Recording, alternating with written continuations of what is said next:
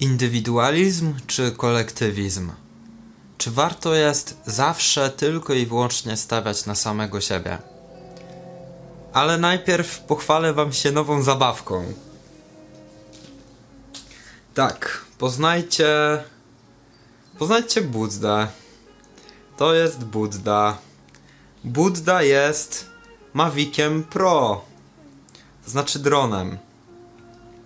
To znaczy urządzeniem, które może wznosić się ku górze, robić piękne, inspirujące nagrania i sprawiać, że świat staje się lepszym miejscem.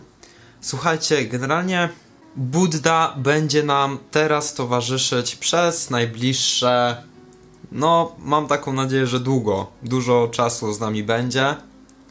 Marek odszedł o nas, odszedł od nas i już go nie będzie. Za to mamy teraz Buddę. Tak, przywitajcie się z Buddą. Taki jest nasz Buddha. Czy warto stawiać tylko i wyłącznie na samego siebie? Słuchajcie, to wygląda troszeczkę tak, że my jako my jesteśmy w centrum tego doświadczenia. No chyba nie będziemy tego ukrywać, tak? Jestem ja, jesteś sobie ty, jesteś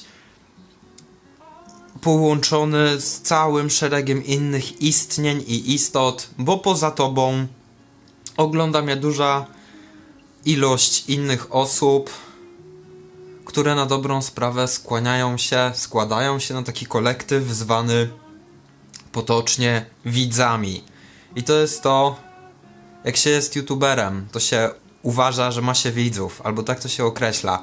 Ja generalnie nie lubię tego określenia, nie lubię nazywać was widzami, bo to jest tak, jakbym stawiał się troszeczkę nadrzędnie nad wami, tak? Że jestem sobie ja jako youtuber i mam sobie widzów, którzy są czymś oddzielni ode mnie samego.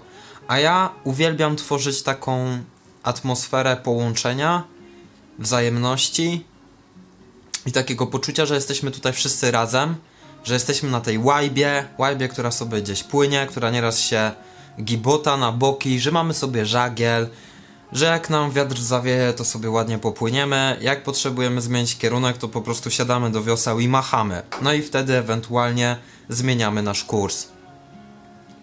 I wiecie, to jest troszeczkę tak, że nasza świadomość, świadomość kolektywna, jak i świadomość zbiorowa, e, wróć, jak i świadomość indywidualna są ze sobą nieoddzielne i się ze sobą przeplatają.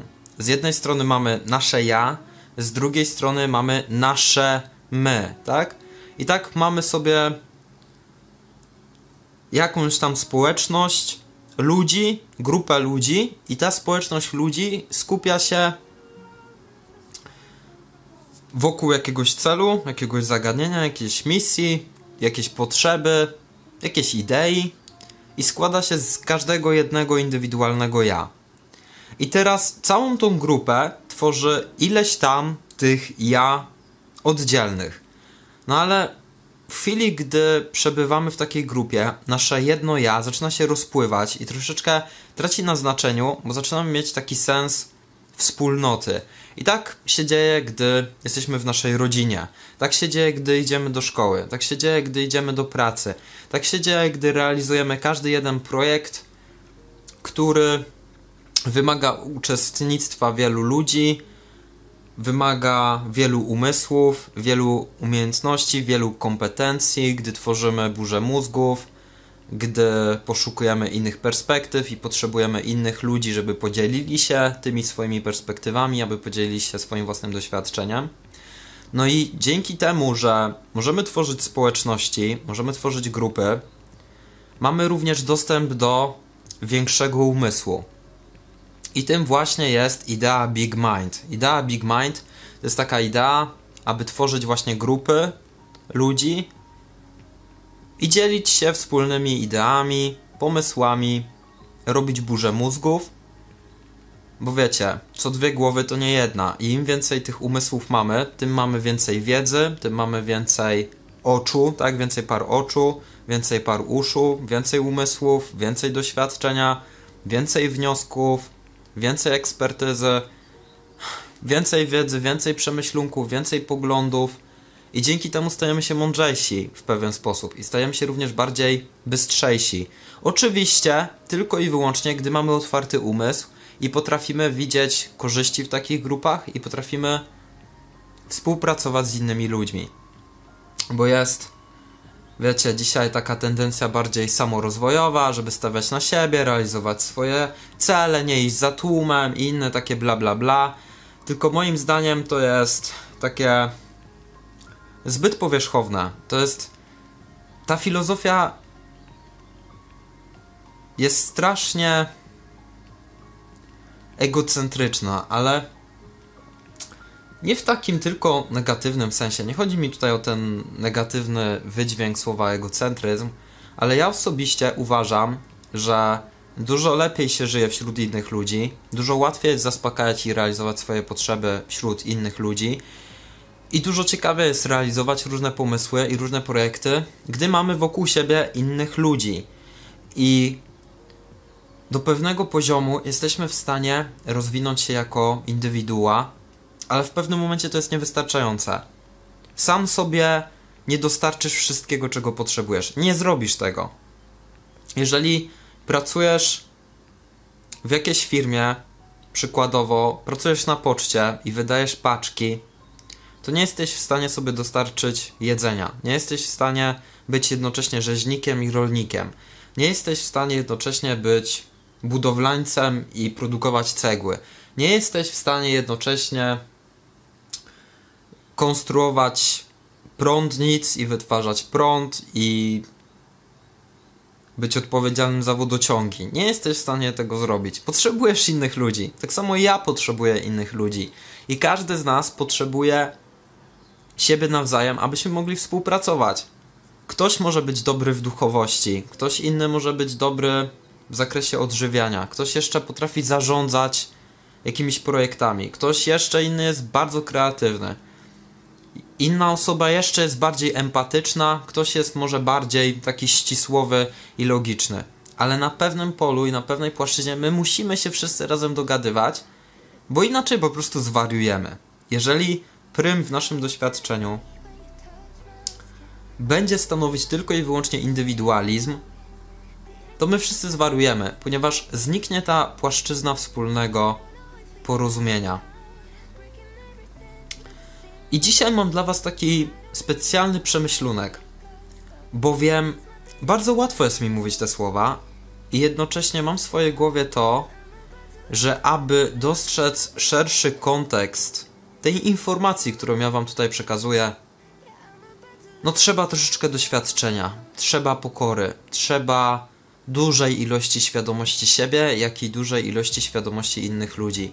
Bo teraz nie wystarczy tylko i wyłącznie to, że ty zaczniesz się poświęcać. Nie wystarczy tylko i wyłącznie to, że zaczniesz być miły, że będziesz się poświęcał innym ludziom, że zaczniesz odsuwać swoje potrzeby na bok, że zaczniesz wypierać się własnego ego i własnego indywidualizmu. To nie wystarczy. Takie podejście tylko i wyłącznie uczuciowe, otwartości, bezwarunkowej miłości, te podejście duchowe. To nie wystarczy. My potrzebujemy rozwinąć w sobie olbrzymie pokłady świadomości i olbrzymie zrozumienie tego, co to znaczy być naprawdę człowiekiem. Przede wszystkim musimy zacząć brać drugiego człowieka jako część siebie. Musimy zacząć rozumieć potrzeby innych ludzi i nie zakładać z góry, że wiemy lepiej.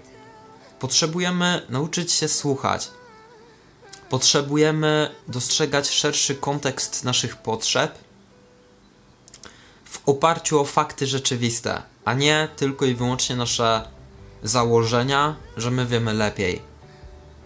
I to jest to, co wymaga od nas pokory i przekroczenie sensu indywidualizmu nie zamienia się tylko i wyłącznie w to, co powiedziałem Wam wcześniej, w samo poświęcanie i samo udręczanie, ale w zdolność postrzegania innych ludzi jako część siebie. I wtedy dużo łatwiej jest poruszać się w rzeczywistości. I ja wiem, że takie podejście wymaga naprawdę pracy nad sobą, solidnej pracy nad sobą, bo przede wszystkim trzeba zrozumieć siebie, trzeba zrozumieć swoje własne ograniczenia. Najpierw trzeba przepracować siebie. Trzeba spojrzeć na samego siebie i naprawdę wejść bardzo głęboko do siebie i stać się tą zmianą w świecie, którą chcemy ujrzeć, bo te światy zewnętrzne i wewnętrzne, one się przeplatają. Ja wam nie powiem tylko i wyłącznie tego, że świat zewnętrzny jest odbiciem was samych, bo to jest prawda. Świat zewnętrzny jest odbiciem was samych. Ale jest przy tym jeszcze taka dokładna, może nie dokładna, taka dodatkowa warstwa głębokiego poczucia tego, że rzeczywistość składa się z różnych systemów, że rzeczywistość jest multikompleksowa i potrzebujemy potrzebujemy również naszego umysłu i naszego intelektu, aby niektóre rzeczy zrozumieć. I to, co ja Wam chcę tutaj dzisiaj przekazać, tak przejdę do sedna, to jest to, że potrzebujemy idealnej równowagi, idealnego balansu pomiędzy naszym umysłem a naszym sercem. Ja dużo czasu spędziłem nad tym, aby kierować się umysłem, dużo czasu spędziłem nad tym, żeby kierować się sercem, poznać swoje własne uczucia. I zrozumiałem, że na pewnej płaszczyźnie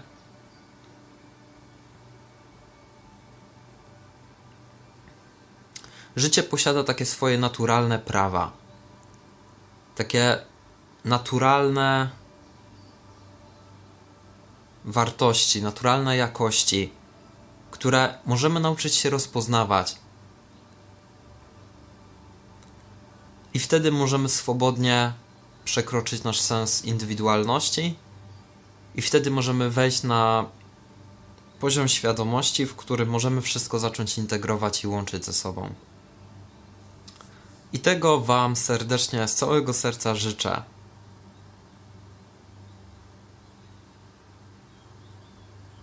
Abyście znaleźli wspólny kontekst Waszego ja oraz naszego my.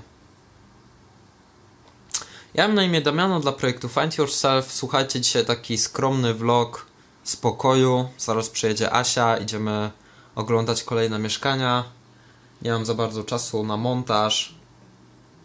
Jeżeli macie jakieś przemyślenia, coś wpadło Wam do głowy, coś naprawdę wartościowego, głębokiego, coś z czym chcielibyście się podzielić z innymi, może jakieś pytania, które chcielibyście zadać, może coś chcielibyście się dowiedzieć więcej, chcielibyście, żebym poruszył jakiś konkretny temat z jakiejś konkretnej perspektywy, albo szukacie jakichś konkretnych przykładów, jakiegoś konkretnego zjawiska, to napiszcie proszę na dole komentarz.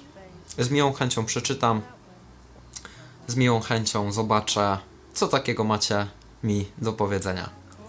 Trzymajcie się ciepło, zostawcie łapkę w górę, napiszcie ten komentarz, o którym wspomniałem Wam wcześniej. Do zobaczyska następnym razem. Miłego. Elo, buźka.